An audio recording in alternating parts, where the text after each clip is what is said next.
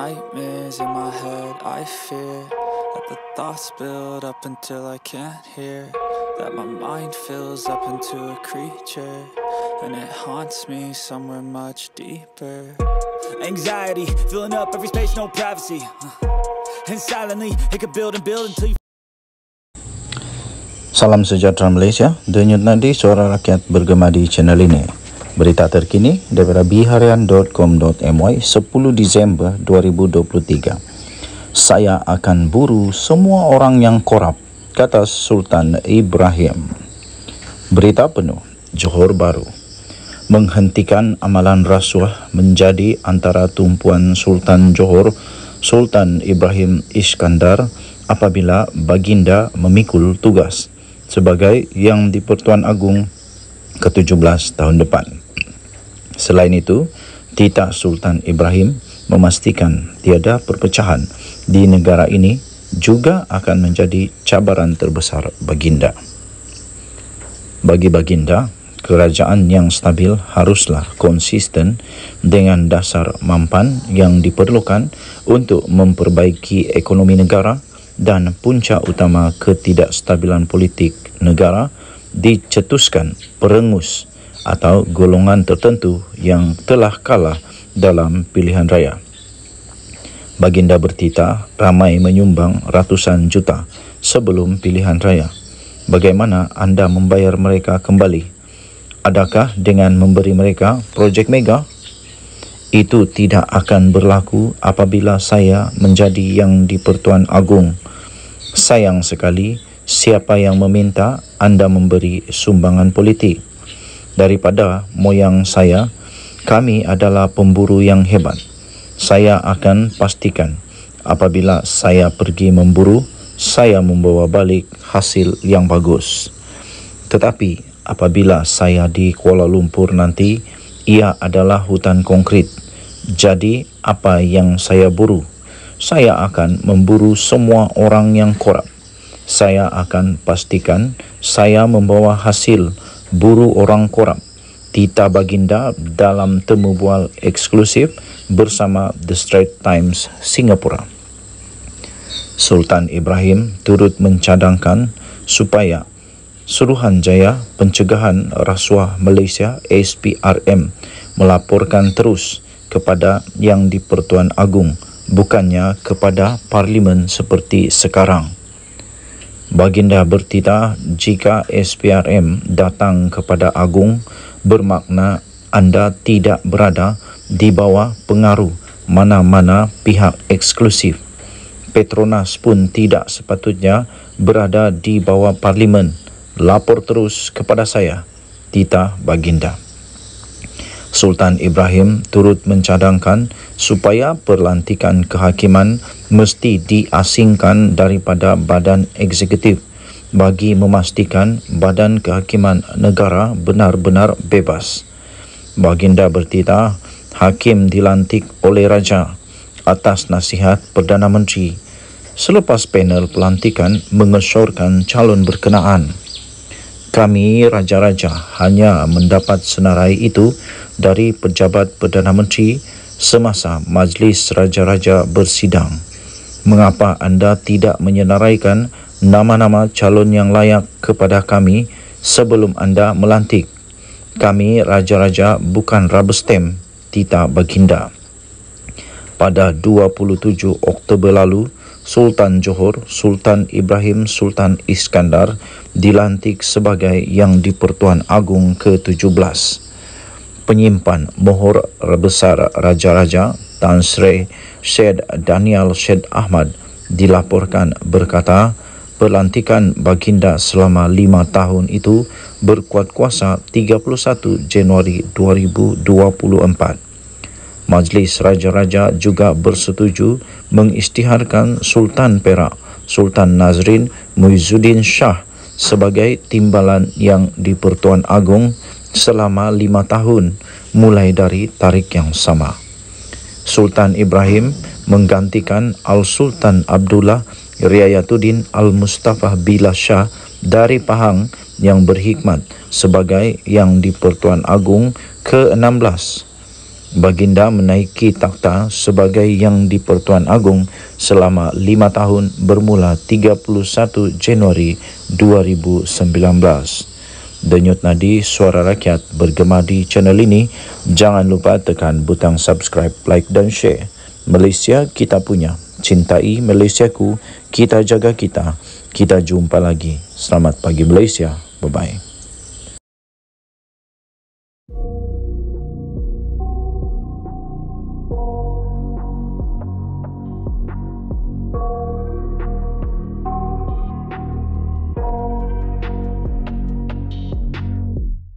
I got nightmares in my head, I fear That the thoughts build up until I can't hear. That my mind fills up into a creature And it haunts me somewhere much deeper. Anxiety, filling up every space, no privacy. And silently, it could build and build until you Salam sejahtera Malaysia, Denyut Nadi Suara Rakyat bergema di channel ini. Ertinya, ertinya selagi Zahid Hamidi ada, usah mimpilah pas nak bekerja semula, bekerja sama semula dengan AMNO. Presiden AMNO Ahmad Zahid Hamidi menyifatkan pemimpin PAS sebagai gila talak apabila masih menyuarakan hasrat untuk kembali bekerjasama dengan AMNO menerusi platform Perikatan Nasional PN. Justru beliau menggesa PAS berhenti bermimpi di siang hari. Selain menasihati parti Islam itu berdoa supaya berhenti menipu AMNO sekali lagi. Katanya setakat ini tiada kabar angin sampai kepada AMNO. Mungkin ada pihak telah kegilaan talak sebab mereka pernah ada dalam kerajaan dahulu katanya. Alangkah sakitnya apabila ada jumlah kerusi yang banyak tapi berada di pihak pembangkang. Waduh sakitnya. Aduh inilah uh, kenyataan yang paling paling apa paling sakit di hati. Eh betul juga. Patutlah meroyan. Siapa yang tak meroyan, siapa yang tak marah kan? Patutlah pas marah betul. Sebab rupa-rupanya uh, sakit hati dengan jumlah kerusi yang paling banyak sebenarnya tapi berada di pihak pembangkang. Aduh kesian. Jadi saya harap mereka terus berdoa untuk tidak melakukan kekencingan menipu sekali lagi kepada AMNO menyebabkan AMNO tidak langsung membuka jalan itu. Jalin kerjasama semula setakat ini. Setakat ini Allah tak bagi buka hati lagi untuk melakukan kerjasama dengan mereka katanya. Kami minta mimpi siang mereka itu dapat dinokmat noktahkan kata Zaid Amidi. Zaid Amidi yang juga adalah timbalan. Timbalan Perdana Menteri memberi penegasan demikian ketika mengulas kenyataan timbalan Presiden PAS Tuan Ibrahim Tuan Man yang tidak menolak kemungkinan partinya bekerja sama semula dengan AMNO di sebalik sejarah pahit kedua-dua parti itu sebelum ini. Artinya berdasarkan kenyataan Zaid Amidi itu, Berdasarkan kenyataan daripada Ahmad Zahid Hamidi itu, um, AMNO tidak akan dan tidak mungkin membuka ruang untuk bekerjasama semula dengan PAS. Setidak-tidaknya selagi beliau masih memimpin Parti Melayu itu. Hanya jika berlaku pertukaran kepimpinan AMNO, barulah barangkali ada kemungkinan perkara itu boleh berlaku. Tetapi, siapa yang boleh kalahkan Zahid Hamidi daripada menerajui AMNO? Dengan itu, usahlah ada pemimpin bermimpi lagi. Dan kalau boleh, elakkan juga tidur di siang hari. Agar tidak terus bermimpi perkara-perkara yang jauh daripada realiti. Jadi, uh, orang-orang pas, Hadi Awang, Tuan Ibrahim, sudahlah berhentilah daripada bermimpi. Tidak akan jadi kenyataan. Tipu saja. Kalau kata, boleh uh, Anwar boleh tumbang dalam masa terdekat. Itu tipu saja. Tidak akan. Susah. Mungkin ya boleh tumbang tapi bukan masa terdekat inilah. Bukan. Ya, bukan. Kerana UMNO pun sudah mengeluarkan kenyataan bahawa mereka bersetuju supaya semua MP dan semua adun tetap memberikan sokongan tak berbelah bagi kepada Anwar Ibrahim. Ha, jadi apa yang pelik lagi? Makin meroyan, makin keluar. Makin meroyan, makin ada keluar daripada uh, Perikatan Nasional untuk sokong Anwar Ibrahim. Apapun alasan yang kamu beri, alasan itu hanya alasan semata-mata. Sebab yang penting adalah tindakan menyokong Anwar itu mendapat manfaat kepada rakyat. Itu paling penting. Denyut Nadi Suara Rakyat bergema di channel ini. Bye-bye. Salam sejahtera Malaysia. Denyut Nadi Suara Rakyat bergema di channel ini. Hari ini, 9 hari bulan Disember 2023, masih tidak ada pengganti Salahuddin petanda ada rambakan kabinet 15 November 2023 Malaysia Gazette Allahyarham Datuk Seri Salahuddin Ayub bekas Menteri Perdagangan Dalam Negeri dan Kos Sara Hidup KBDN meninggal dunia pada 29 Julai yang lalu. Kerisau kerusi beliau bagi Parlimen dan Dewan Undangan Negeri telah pun diisi melalui pilihan raya kecil yang telah diadakan pada 9 September yang lalu. Bagaimanapun, jawatan untuk menteri yang ditinggalkan oleh Allahyarham di KPDN telah kosong hampir 4 bulan. Perdana Menteri Datuk Sri Anwar Ibrahim telah mengumumkan Pemangku jawatan tersebut iaitu Menteri di Jabatan Perdana Menteri, Hal Ehwal Sabah Sarawak dan tugas-tugas khas iaitu Datuk Armizan Muhammad Ali pada 30 Julai yang lalu. Pada tarikh tersebut, Anwar turut mengumumkan pengganti Salahuddin akan dibuat selepas pilihan raya diadakan di enam negeri dan ia telah diadakan pada 12 Ogos yang lalu. Kini telah lebih dua bulan telah berlalu sejak PRN diadakan. Namun pengganti bagi jawatan menteri dan kementerian yang penting kepada rakyat itu masih belum diumumkan. Okey, jadi ini pada uh, berapa hari bulan ini? Ini 15 November. Sekarang sudah Disember jadi sudah lebih ya dua bulan jugalah, belum sampai tiga bulan. Perdana Menteri dalam sidang media dalam sidang eh maafkan saya Perdana Menteri dalam sidang Dewan Rakyat bukan sidang media. Perdana Menteri dalam sidang Dewan Rakyat pada 18 Oktober yang lalu dengan hanya menjawab tunggu bila ada calon kata beliau.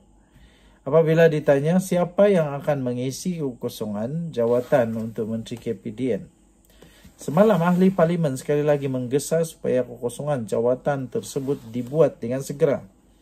Ini selepas mengambil kira pengurusan perbelanjaan peruntukan yang diterima oleh Kementerian Terbabit selain pelbagai isu kos sara hidup yang melibatkan rakyat. Katanya kementerian ini tak perlu menunggu masa terlalu lama. Sudah lebih empat bulan bekas menteri penuhnya tidak dapat lagi diisi. Sampai bila kita nak menunggu ketika mana kita sedang menguruskan perbelanjaan 1.88 bilion untuk kementerian ini kata beliau. Kemudian beliau menambah saya menyarankan supaya Perdana Menteri tidak menunggu lebih lama untuk melantik Menteri KPDN jangan tunggu lama kata ahli parlimen Sikh Ahmad Tarmizi Sulaiman dari PN ketika sesi perbahasan belanjawan 2024 bagi kementerian itu di Dewan Rakyat. Bagaimanapun bagi pemerhati politik Mujibu Abdur Muiz Terdapat dua faktor mengapa Perdana Menteri masih belum melantik pengganti Salahuddin. Pertama, menurut fellow kursi institusi Raja-Raja Melayu Universiti Teknologi Mara UITM itu, terdapat kemungkinan Anwar mahu membuat rombakan kabinet yang tidak hanya melibatkan jawatan tersebut saja. Mungkin kerana kalau jawatan menteri itu diisi sekarang, mendangkan ada pertimbangan rombakan kabinet, kalau nak isi sekarang, akan ada rombakan lain. Baik sekali jalan semua katanya. Faktor kedua yang dilihat pemangku menteri iaitu Armizan menjalankan tanggungjawab dengan baik. Walaupun tak nampak perubahan sangat, tapi dia tidak menimbulkan apa-apa isu panas katanya. Menu Rahma masih berjalan, tidak ada harga barang yang begitu menekan. Walaupun saya rasa jawatan ini perlu diisi dengan segera katanya kepada Malaysia Gazette. Beliau turut menolak andaian bahawa Perdana Menteri menunggu parti amanah melantik timbalan presiden yang baru iaitu jawatan yang dipegang oleh Salahuddin sebelum ini. Mujibu berkata terdapat beberapa ahli parlimen amanah yang layak untuk menggantikan Salahuddin sebagai Menteri KPDN tanpa perlu menjadi timbalan Presiden. Ini antaranya adalah bekas Ketua Menteri Melaka yang juga ahli parlimen Alur Gajah, Adli Zahari yang kini menjawat jawatan timbalan Menteri Pertahanan. Turut dilihat berkebolehan adalah ahli parlimen Kuala Selangor, Datuk Seri Dr. Zulkifli Ahmad yang merupakan bekas Menteri Kesihatan. Malah, ahli parlimen Pulai, Suhaizan Kayat, yang mengisi kekosongan kerusi yang ditinggalkan Salahuddin di kawasan itu juga boleh dilantik ke jawatan tersebut. Beliau menegaskan Perdana Menteri mempunyai hak dan keistimewaan sepenuhnya untuk melantik siapapun sebagai anggota kabinet. Apa yang penting jelasnya kabinet masih berfungsi seperti yang berlaku dalam pentadbiran sebelum ini, di mana jawatan timbalan Perdana Menteri dibiarkan kosong sebaliknya diwujudkan beberapa jawatan Menteri Kanan. Untuk rekod amanah akan melaksanakan pemilihan jawatan kuasa nasional amanah bagi penggal 2023-2026 termasuk jawatan timbalan presiden yang kosong berikutan kematian Salahuddin pada Disember lalu. Disember lalu. Daripada Malaysia Gazette, dengan nadi suara rakyat bergema di channel ini. Jangan lupa tekan butang subscribe, like dan share. Malaysia kita punya cinta Malaysia, kita jaga kita. Bye-bye.